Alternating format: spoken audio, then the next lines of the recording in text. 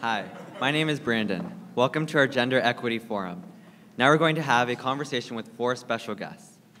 Today we are privileged to welcome Jackson Katz. He is an educator, author, filmmaker, and world-renowned pioneer in gender violence prevention education. In 1993, he co-founded Mentors in Violence Prevention, one of the most widely implemented and influential sexual and relationship abuse prevention programs in schools, colleges, sports culture, and the military in North America and beyond. Jake Ford, who most of you know as Coach Ford, will also be joining us today.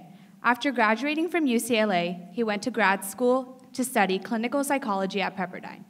Afterwards, he worked at the LA County Child Protective Services for 15 years before he joined the Brentwood community. He began coaching in the middle school, where he now teaches human development, and has been the head varsity football coach for the past two years. He has coached and taught a number of our students here today and has had a lasting impact on our community on and off the field. We are glad to welcome Theresa Rogers. Despite being a licensed nurse and having a law degree from Loyola, she considers her greatest accomplishment her five incredible children. She is mother of Robbie Rogers, a star player for the Los Angeles Galaxy. In 2013, he became the first openly gay man to compete in any American professional sports league. Ms. Rogers has joined us here today to give us a mother's perspective during the dialogue.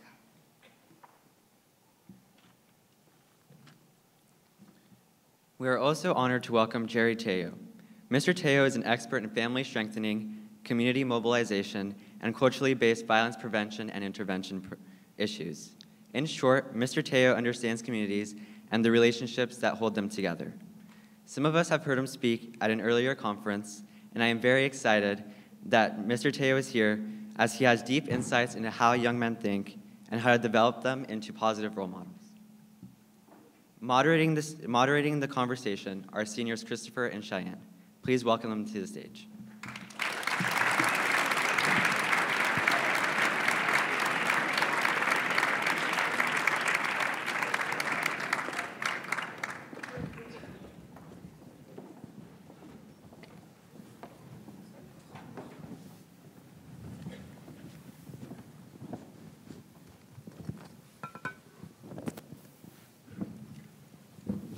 Hi, everyone, and I hope you enjoyed the movie. And now we're going to start by asking one specific question to each of the panelists.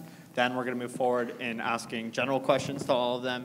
And eventually, we're going to open it up to everyone in the crowd to ask any question you want. So, our first question is for Mr. Katz. And you've mentioned that domestic violence and sexual abuse are often called women's issues, but you believe that they're actually men's issues, and in some ways tied to the definitions of manhood. What do you mean by that, and in what ways is the film relevant to everybody here? Thanks, Cheyenne. Um, before I answer that question, let me just say I think this is a great event. I applaud you all, Christopher and Cheyenne, Brandon, and all the young women and men who made this possible, as well as your, you know, the, the faculty, the faculty and staff and administration at the Brentwood School. So yeah, everybody deserves a round of applause. Thank you.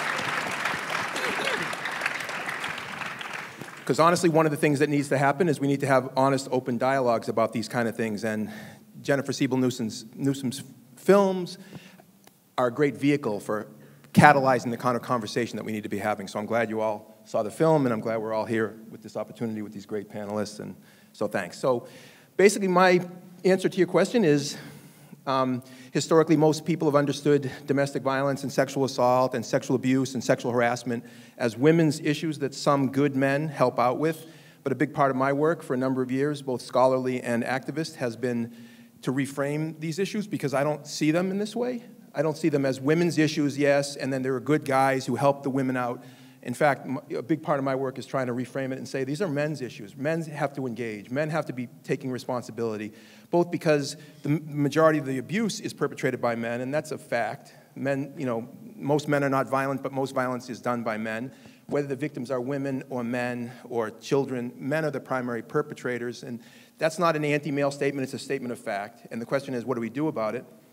And a lot of men, when they hear the term women's issues, they think, you know, well, okay, that's a women's concern. I'm a guy and it's not for me. And I think that's a problem, and we need more men having that conversation. Um, and men are also the victims of violence, both at the hands of other men and sometimes at the hands of women. And, and so we have to talk about men as victims as well, both physically, emotionally, sexually, and attend to the needs of men who are themselves the targets of harassment, abuse, and violence. Um, let me just, one last thing, I'll just say women have clearly been at the forefront of addressing these issues in the culture. W- women's leadership, in other words, in the domestic violence area, in the sexual assault, sexual harassment area, the sexual abuse of children area. Women's leadership in a multicultural, multi ethnic sense has been utterly transformative on a local, national, and global level. It's an ongoing process, but women's leadership has been incredible, and women have been able to do so much. But there hasn't really been enough leadership on the part of men. And uh, I think we have, you have, your generation has a, a, challenge in front of you. The 21st century, one of the great global challenges is gender equality and reducing gender violence. And women and men need to work together to achieve this. Um, and I think uh, hopefully that's one of the uh, one of the things we're here doing today is talking about how men can be talking about men and talking about men's issues, if you will, and how they intersect with women's lives and men's lives are part of that um, big long-term change that has to happen. So there, there, there we are. Thank you. Thank you. Coach Ford. So football is often seen as a sport dominated by hypermasculinity. And uh, we wonder, how do you deliver an alternative message to your team, and in what ways is your counseling background connected to your coaching philosophy? I think that the goal of a coach uh, and a team is remains the same over time. I mean, I think you're, as a coach, I'm trying to develop mentally strong, physically strong, teamwork minded young athletes. I think that the way that the message is delivered is what needs to change. I think that, um, you know, using demeaning terms, calling a, a player a sissy or saying that they throw like a girl is not a way to motivate in this day and age, for sure. Uh, I think it's important to, you know, be mindful that we are giving the kids a message that, you know, I want, I want to give my football team a message that I could cut and paste and give to the girls' soccer team and get the same result. Uh, so the message needs to not be gender based, more so just kind of talking about their skills and their, their ability level and their, and their effort. And as it relates to my counseling background, you know, I think it's, you get a lot more out of students and out of young men when you are encouraging to them. And I think that they, they feel a lot more empowered when they, when they see that their coach recognizes their, their good actions or their effort. And so I've, I'm not one to curse at my players, to yell at them. I'm super encouraging. And I think that that has paid off. And I think that, that they appreciate that. They appreciate somebody in their life that's really looking at, at the good things that they do. Thank you, Mr. Coach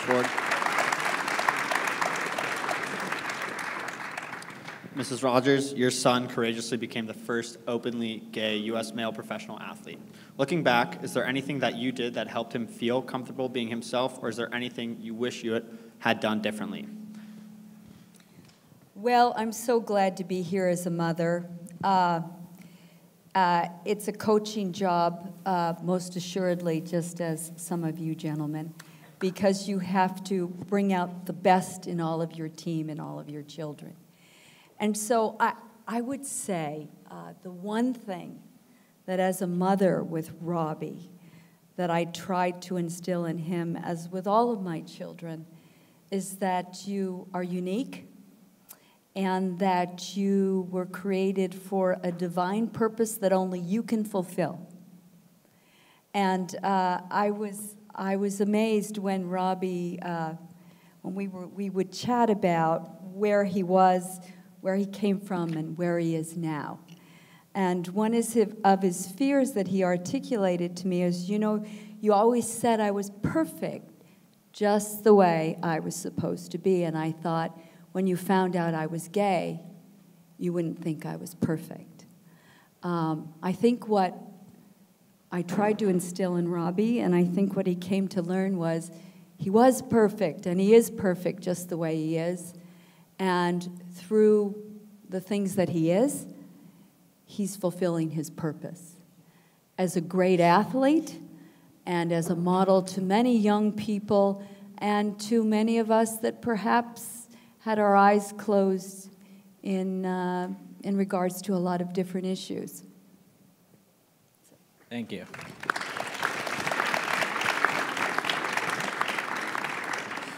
Uh, Mr. Tello, Teo, uh, as you mentor young men, what do you find that they have most trouble with in developing their identity?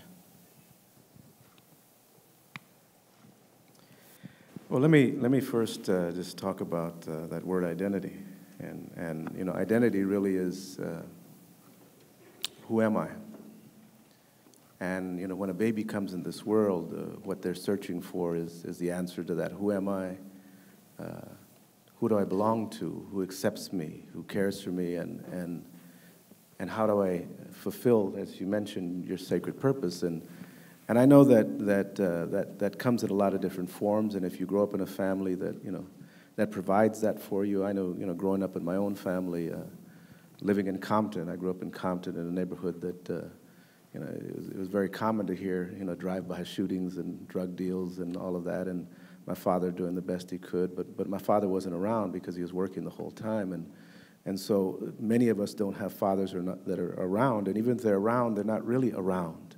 And what I mean by that is they maybe they're physically, but their spirit got, got, got caught up. And, and, and sometimes I work with men that are 45, but they're really five because they got stuck at five. And, and, and so how do you fulfill your purpose if, if you're physiologically, you're 15, 16, 17, 18, but emotionally you're, you're caught up at five. And, and, and then, you know, you, you, you know, so some of you look at your fathers, and we often blame our fathers and, and our grandfathers and all those people who give us these role these roles, these, these, these gender-specific ways that, that maybe are misogynistic or, or very sexist. Um, and, and, you know, and I had to look at my father that way, you know, and, and why did he do this or why didn't he do this and why couldn't he tell me he loved me and why was he so harsh and why was he so all of this until I came to the point where I had to realize that my father was a boy at one time and my father went through the very same things and my father got stuck.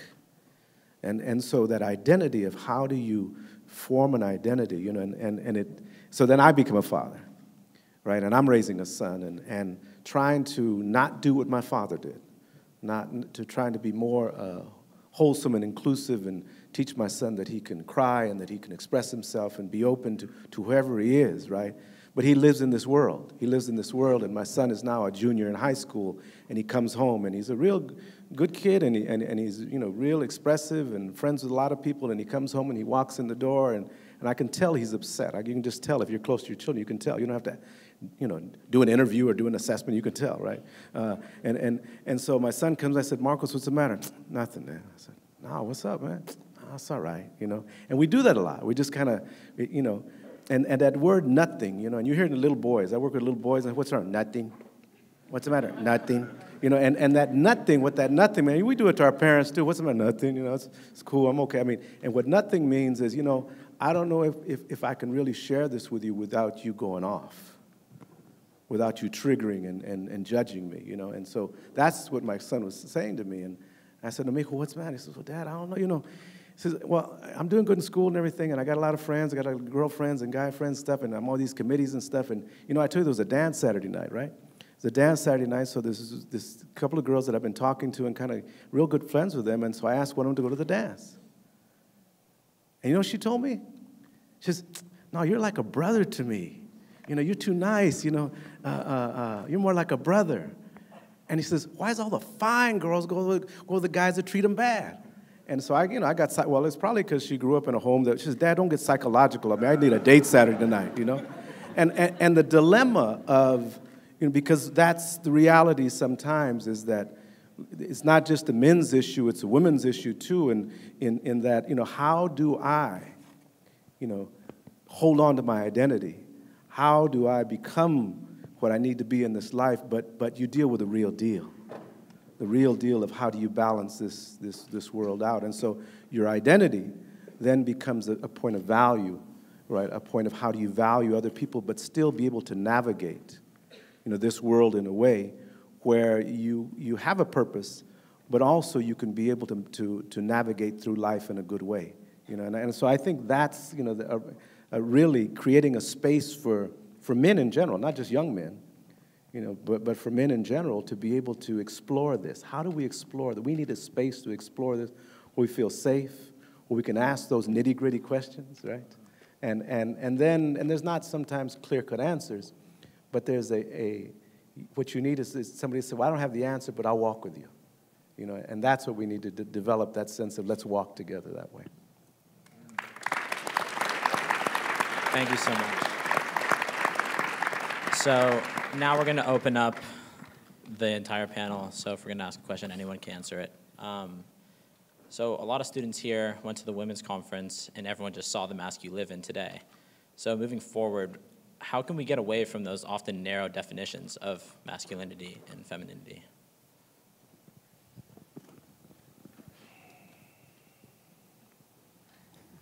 Well, I think uh, when we live by definitions, we're living in a very narrow channel. And what, i what I would recommend, and, and I'll use Robbie as an example, Robbie was so afraid that if he didn't represent something that he deemed to be an athlete, he wouldn't have chances in athletics. He wouldn't be invited on the older teams. He wouldn't be invited to the Olympics. He wouldn't make it into the MLS. And it was a tremendous price that he paid personally. He had to keep emotions in his head uh, that really uh, eventually led to physical and, and uh, really detrimental things to him as a person.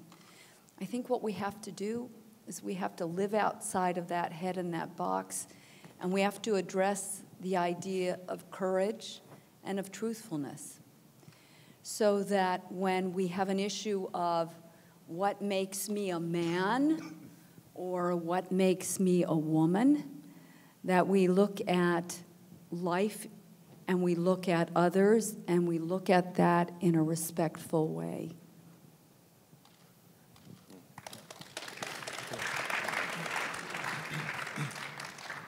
I mean, I think it's important to uh, get our terms clear. I mean, there's the difference between sex and gender is critical here, right? So sex is biological, what you happen to be born with, the secondary sex characteristics you happen to be born with. Most people are born either male or female, but there are people who have um, are intersex who don't have either male or female. But gender is a, is a category that people with this or that biology are assigned a set of characteristics that, uh, that, that, sometimes correspond with those uh, biological characteristics, but there, it varies widely. All, across the world, for example, what is masculine and what is feminine, it varies widely. In the same society, in different subcultural groups, there's different definitions of masculine or feminine.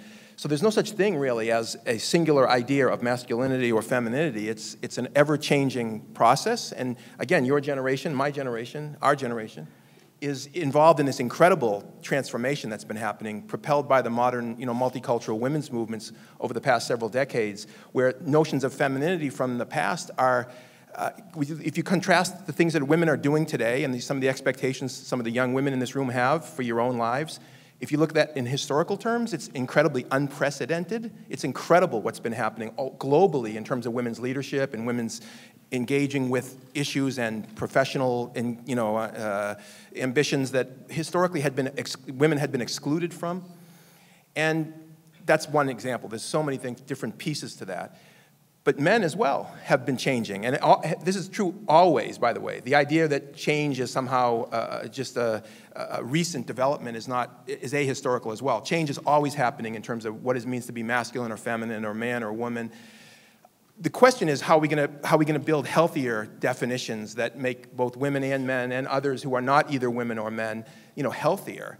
Um, and, and one of the challenges for us as men those of us who are men who are doing this work is to try to think outside of some of the narrow boxes of manhood that we've been um, grown up with. And some of us who either had fathers or didn't have fathers um, some of us are kind of blazing a new trail because some, you know, I didn't have a father or a stepfather that I could look to as, a, as an exemplar or as a model for how to deal with the modern world because my stepfather, who I grew up with, didn't have the skills, and he, didn't, he certainly didn't have the skills to teach me. And a lot of men are in that position, trying to figure it out. And a lot of us take some of our cues from women because we, cause we don't, you know, we see women doing these incredible things and trying to expand the definitions, and we learn from women. But one of the great things that you, your generation has more than I think our generation is that there is a growing movement of men, both in the United States in a multicultural, multi ethnic sense, and, uh, and all over the world, a growing movement of men who are finally starting to say, you know what, some of this stuff is messed up. Some of the traditional ways of you know, keeping your feelings in or expressing it only through anger or violence, some of this is really limiting, and, and it's destructive to men as well as to women, and we can do better. And so we're, we're all part of this growing conversation. How can we do better? Uh, how, can we, how can we be healthy and, still be strong? That's the last thing I'll say. Strong, some people will say in, incorrectly in critiquing these kind of conversations that we're saying men have to be wimps and we have to be soft and we i'm, I'm sorry i don't buy that at, at all this is a, it's, it's we, i want men to be strong i want myself or my 14 year old son to be strong the question is what does it mean to be strong and I, I reject the, the, the, the, you know, the very narrow definition of strength that resides in being dominant over another person, imposing your will. That's a measure of strength. Emotional vulnerability is another measure of strength, to be honest with you. A man who can say, I'm, I'm, I'm, i need help, I, I don't have it all figured out, that takes great strength. And, and the idea that somehow you have to present yourself as, in the traditional way, physically dominant and in control at all times is highly destructive, both to other people, including women, but also to men themselves. So, it's, so how can we create definitions of strength for men and young men that is more expansive than the traditional definitions? That's one of the great challenges of our time, I think.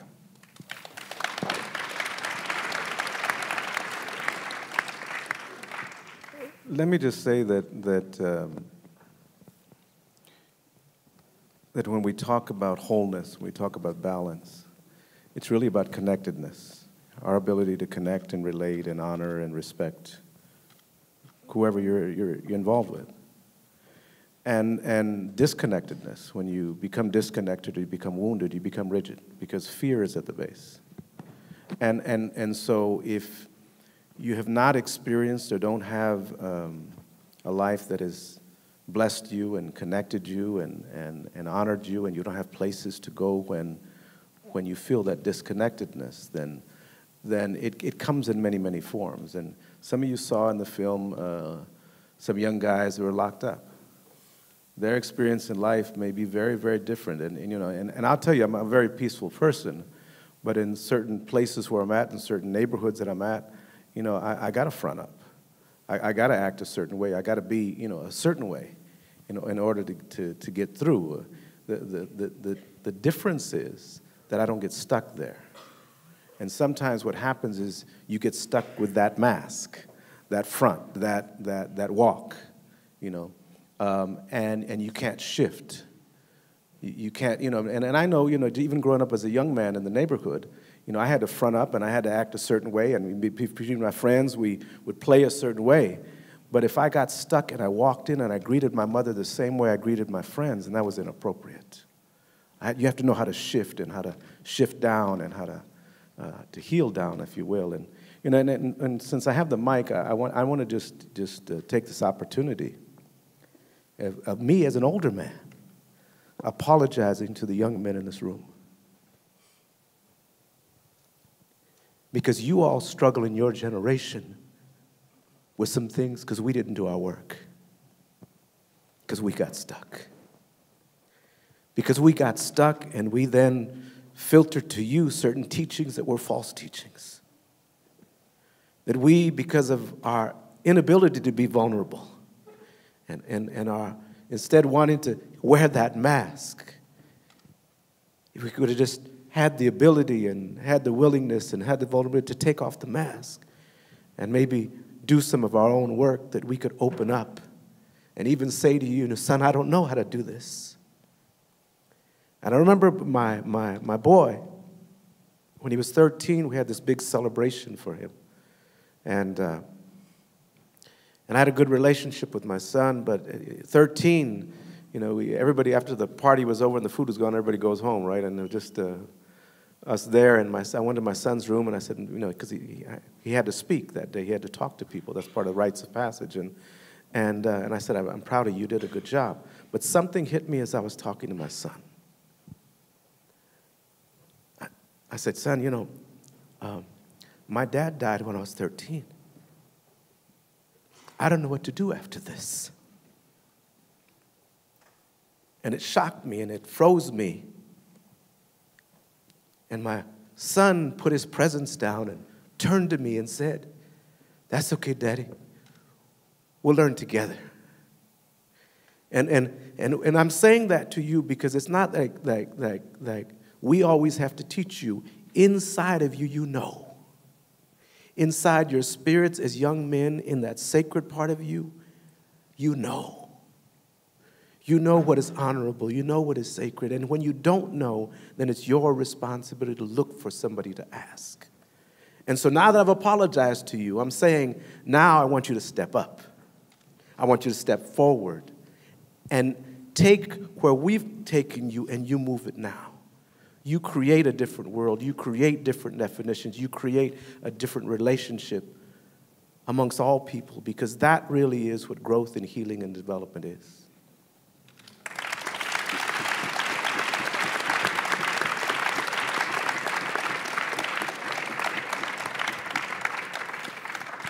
Um, Mr. Katz mentioned how recently women have made great progressions, and while we're still kind of talking about that topic, what has caused the term feminism to have negative connotations with some people? Open question to all you guys.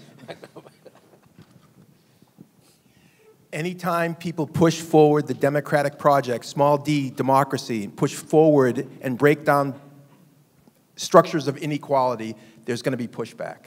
And when you have civil rights movement that challenged white power and, and white supremacy, there was pushback. Those people just, you know, I mean, there's, there's in, in the, in the, in the, in the, as the gay and lesbian movements moved ahead in the last several decades, there was pushback on the part of heterosexual people who were felt threatened by that advancement of democratic values and enlightenment values. Women have been pushing to be treated with full dignity and respect. This is what feminism is about. To me, if, you don't, if you're an American, say, and not everybody's an American, but most people in this room probably, if you're an American and you say you believe in the values of this country, democracy, fairness, freedom, justice, and you're not a feminist, you have to explain to me how you can reconcile saying that you're a proud American who believes in those values and not be a feminist. Because to me, feminism is that basic. Right. It's, that basic, but understandably, one of the, one of the, one of the methods of a, of a, in this case, of a dominant culture that is threatened by the changes that are being pushed by people who are identified as feminists, one of the first responses is, is an old one. It's, it's ancient. It's called kill the messenger. Kill the messenger means instead of dealing with what, the, what people are saying and the substance of their arguments, fairness, equality, justice, equal treatment, which is all feminism, you make it so that the individuals who are promoting that point of view are stigmatized in some way. So then you don't have to deal with the arguments because you've now written off the person. She's ugly, she's a man hater, she's got an agenda, she believes in female superiority. All that kind of, that kind of obvious propaganda, obvious to many of us, is an attempt to keep women from pushing the boundaries that they've been doing. And that, so that, I think that's the reason why a lot of uh, people react negatively to feminism because they're reacting to, this, to the propaganda rather than to the ideas because it makes them a little bit uncomfortable. And I think, I think that's true for women and for men in different ways. But I just want to say there's a lot of men who are very supportive of feminism, who are not threatened by feminism. As a man, I'm not threatened by feminism. When I, was, when I learned about feminism back in the, when I was in, you know, a college student back in the late, um, I think it was the Mesozoic era. It was like, but when I was a young guy, it was I didn't like think, oh my God, these women hate men or they're they they're, they're, they're they've got an agenda against men. I was like, that's how. I, if I were a woman, I, I I wish that I would have the guts to stand up for myself and speak out for my own rights and dignity. And I recognize feminists as leaders who are pushing forward the democratic project in the in the world and the Enlightenment ideal. And I respected it. And as a man, I, I, I try to figure out from the beginning, from the time when I was a young guy, how can I, as a man, be supportive of this? And I don't see that as, as, as being like a self hating man. I think that's another ridiculous idea that, that men who support feminists are somehow undermining ourselves. I think it's, I don't believe that for a second. I think the question for men is how can we be supportive of gender equality and fairness and equal treatment and kind of sort of embody a kind of manhood that is accepting of that rather than resistant towards it? And, and I think there's an awful lot of men, including in this room, who are on the side of women's uh, equal treatment and equal justice. And I think more of us need to speak out, especially in the current political climate in the United States when there's a lot of men who have a lot of power and a lot of public platform who don't believe in women's basic rights. And I think, I think those of us who do need to have a, a much stronger and louder voice, especially at this current moment.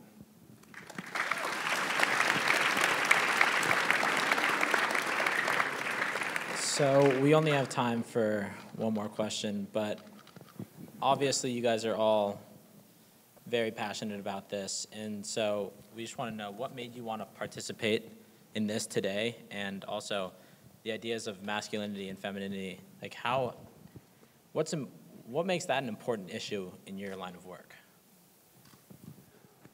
Well, I wanted to participate because I think that, especially in athletics, there really is this push for, or you know, there's a culture of hypermasculinity and and you know you got to man up and you got to be be a man and be tough. And uh, I kind of wanted to break down that barrier a little bit and you know be here to to support and say that you know we support as a as an athletic program we support as a football team uh, and we are interested in this and uh, I don't want us to fall into or, or be perceived as those are the jock guys and they're they're the you know the chauvinist macho guys and they don't have a brain and they just you know I wanted us I wanted you know I wanted to show our support.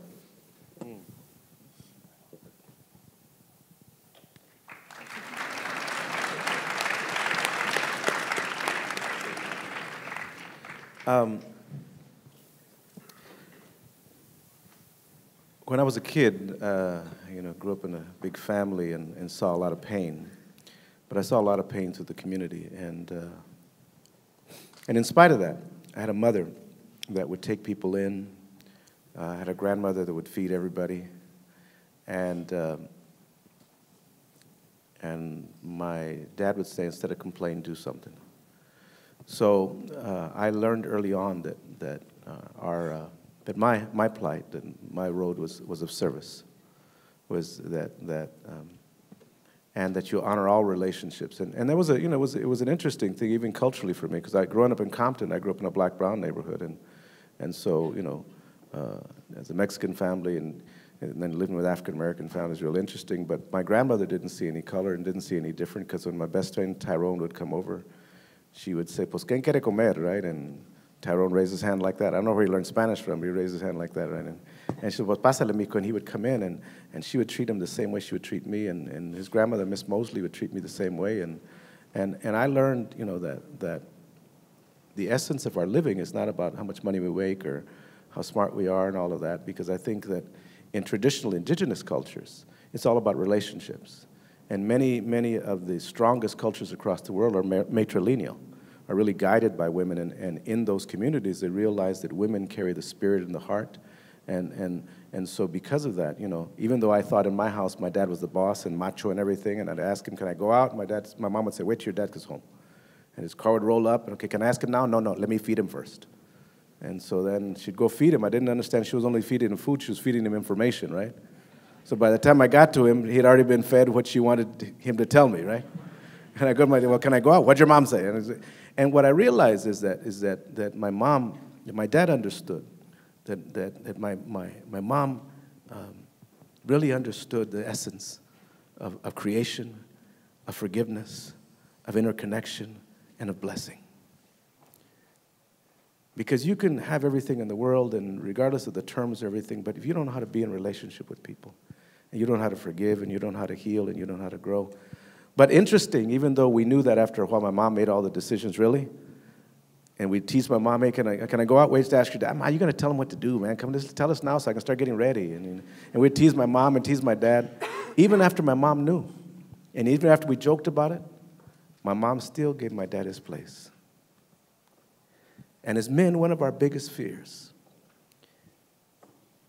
is that we'll no longer be valued because of our woundedness. So, creating a sense of balance in this, you know, is really, really critical. And this conversation, you know, is, is important, but it's important for this conversation to only be the beginning conversation. And, I, and, and that this conversation, I know you're going to have conversations tomorrow, but these are the conversations you need to have with your friends, with your family, and, and circle up among yourselves and continue this conversation, you know, so that we can really have a world that, that releases definitions and releases borders and barriers, and we see each other as interconnected people.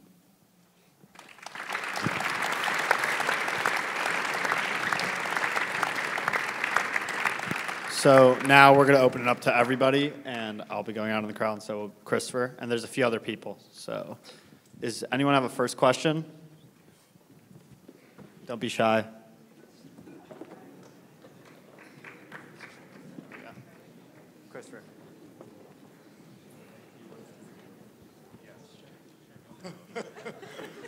Um, this question is for Mr. Katz specifically. Do you feel like um, some of the more misogynist and homophobic institutions, such as athletics or fraternity and sorority life at the college and university levels, can be retrofitted um, in order to achieve this equity, or do you feel like these are things that should be dismantled?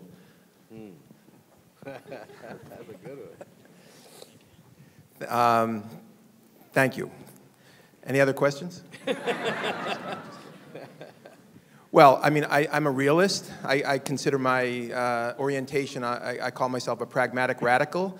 And I, I, I feel like, for example, football culture. Football is incredibly influential. This is the Super Bowl weekend. I mean, this is like a national religion, right? It's, it's a secular holiday, you know, Super Bowl Sunday. And, you know, I don't think it's realistic to think that we're going to not have football culture, you know, in the next few years or something. It's, it's part of American culture. It's deeply rooted.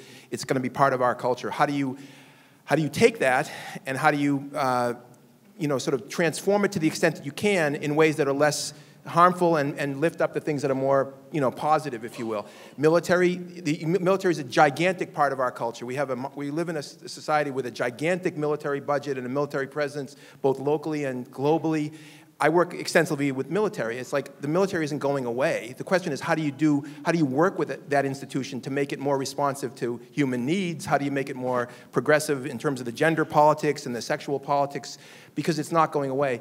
I mean, fraternities, and sororities on college campuses are deeply rooted. They are, they, they are in transition. they have been in transition for a number of years. So I'm, I would not call myself an abolitionist. I would, in, this, in that sense, I would call myself a reformer, which is to say fraternities and sororities play a really positive role too. They don't just, it's not just, they're not just bastions of illegitimate power and privilege. They're, there's some emotional needs and relational needs that they're serving that can be better served with a more thoughtful and progressive um, orientation and more accountability for abusive behavior. So I think, I think that's what I would, where I would go with it. I wouldn't just write it all off and say we have to abolish it because I don't think that's realistic and I, and I don't think it's quite fair.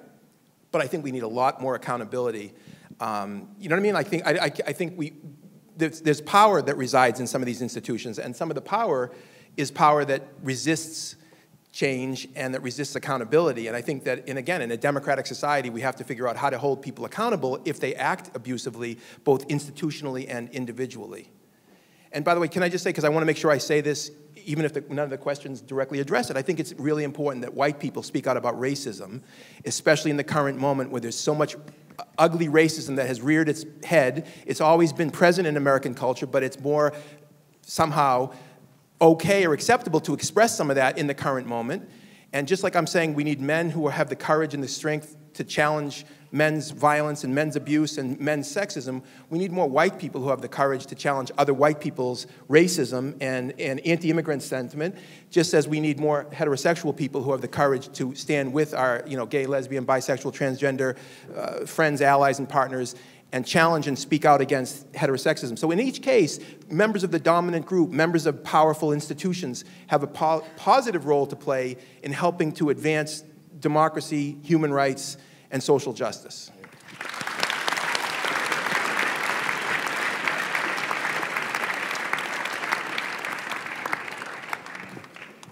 Um, hi. Okay, so my question, which is kind of a broad one, I guess, is so you guys, a lot of you have spoken about how we need to look more um, of issues of gender inequality as both women's and men's and people who don't fit into the gender binary. As somebody, um, as so I consider myself like a very outspoken feminist, but I get a lot of pushback in the sense that a lot of people don't want to hear it or that they think it's only a woman's issue. What would you say to those people? What would your be, or what would your advice be for what I should say to those people? Uh, thank you. That's a, that's a really good question. I think that, that uh, for me, uh, developing relationship with people first, meaning you, you, you develop relationship based on, on what you have in common and the connection. Because I think when you develop relationship, then you create um, spaces for dialogue and spaces for movement.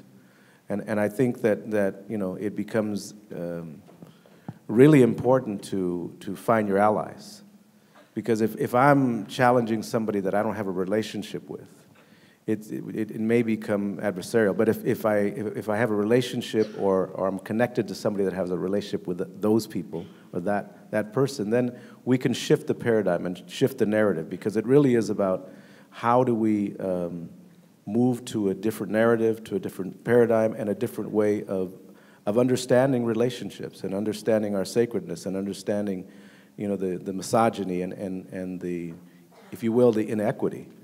Um, uh, I also think it's important um, how you do that.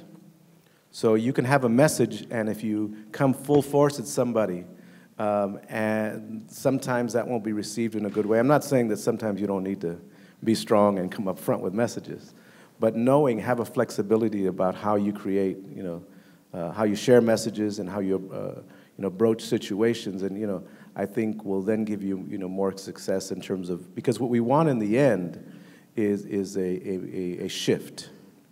You know, a shift in ideology of how we see each other, a shift in our pedagogy about how we really relate to one another, and then an accountability of how we collectively can move something forward. And I think, you know, I mean, you have an example here, you have a coach here, that even though you, we may be in institutions where, well, football is very, you know, hyper masculine, you have one person that chooses to do it different and can influence a whole bunch of people, right? And if we, each of us take responsibility by that with our, our circle of influence of who, who, are, uh, who are around, we can begin shifting the norm until the norm becomes larger. It becomes larger in terms of us respect, the whole sense of respect and equity.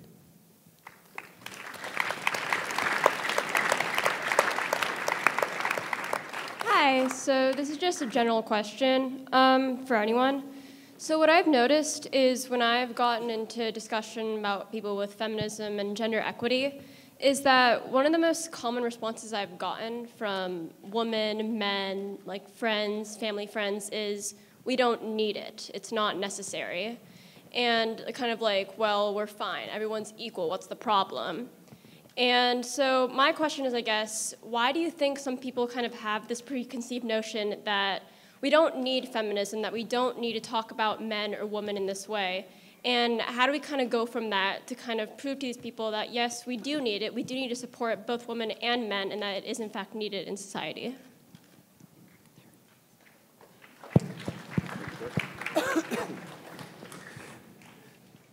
That's a great question. I mean, I think, I think that's why we need more education. Because the idea that somehow we've already gotten to gender equality and we don't need that is incredibly ignorant. There's, we're not even close to gender equality in the United States or globally. We're not even close. We have generations and generations of work ahead of us before we could even claim to be close to gender equality. It's like saying because we have a black president, we don't have racism. It's like, are we going to credit that with, as a, an intellectually serious position? It's ridiculous. Of course, racism is much deeper than whether we have a black president. So, sexism, yes, women have made incredible strides. Women are doing things that are incredible. But if you look at on a structural level, economic, political, violent, men's violence against women, the level of objectification of women, the porn culture, which just enshrines a kind of aggressive masculinity and a anti-woman kind of sexual ideology, to, to say that we have equality, it's just it's not living in the same sort of universe that I live in. We don't have, we're not, we don't have gender equality. We have, we have a long way to go. But people who say that, are, it's often because they haven't really thought it through. They have, they're not particularly educated about these matters. They might think, well, yeah, we've had some successes, but it's, it's, I would just urge you to think about that in terms of the, the racial analogy of saying we don't have racism or we don't have heterosexism because we have people like Robbie Rogers coming public about being gay. Uh, okay, this is a great thing. There's a great leadership that's been happening by individual people, but we have deeply seated homophobia and heterosexism. In spite of the fact that we've had a lot of advancement, we still have a long, long way to go. And also, I would say in this room, we're, we're in the United States, we're in you know, the LA, you know, I mean, I mean we're, in, we're in a very privileged circumstance. If you look around the world, there's like 700 million child brides in the world, 700 million women who are being basically sold to, to, to, to men to buy, to, who are buying brides who are 11 years old, 12 years old. There's billions of women and children in the world who have absolutely no power whatsoever. So it's not just who we, who, those of us who are privileged, what kind of gender relations we have. We have to think about the whole globe. And on a global level, I swear to God, if I walked out of this room, if we were in certain parts of the world, I would be shot in the head for saying the things that I'm saying. Right. The women who are here wouldn't even be saying them because yeah. they couldn't even be in public. In, in, in other words, we have to always keep in mind that the world is a big place, it's a diverse place, and there's billions of people. And those of us who have power and privilege, especially some of us who are, you know, young, you're young now, but you're going to have increasingly opportunities to have influence in your, in your lives keep in mind that it's not just about your immediate circumstances, that there's a big world out there. Yeah. Uh, we have time for one more question. I, I would add to that, that that you know we mentioned in the global world, but there are people today in homes that can't speak honestly and upfront. There are women that are being oppressed today, that are being abused today. The sexual exploitation is increasing, you know, all over this country. I mean, porn is increasing, and, and, and so it's not just globally.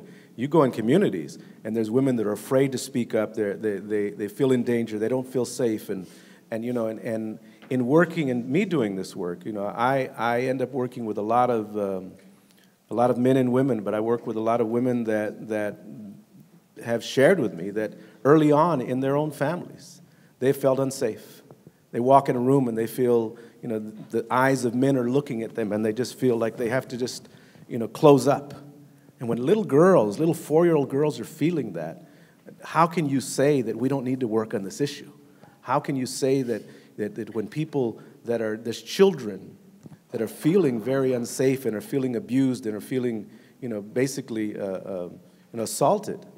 I mean, this is an issue that, that really affects our relationships, affects our families, you know, affects our children. You know, and I think about I have a granddaughter and you know, what, what kind of world do, do I want my granddaughters to grow up in? And, and, but, so, so I think, you know, what you're saying, you know, Jackson, is, is really important uh, because I think we have a long way to go. I mean, this conversation is very, very important, but the conversation has to take place at a lot of different levels, you know, from policy to practice to even how we do instruction, you know, and, and, and I think that what we're trying to do in a lot of schools is have this be an ongoing conversation, not just a special week, a special time, but let this be an ongoing. This should be part of a history class, part, part of all these classes that we're doing. That we should include these these conversations, see how we can shift the paradigm that way.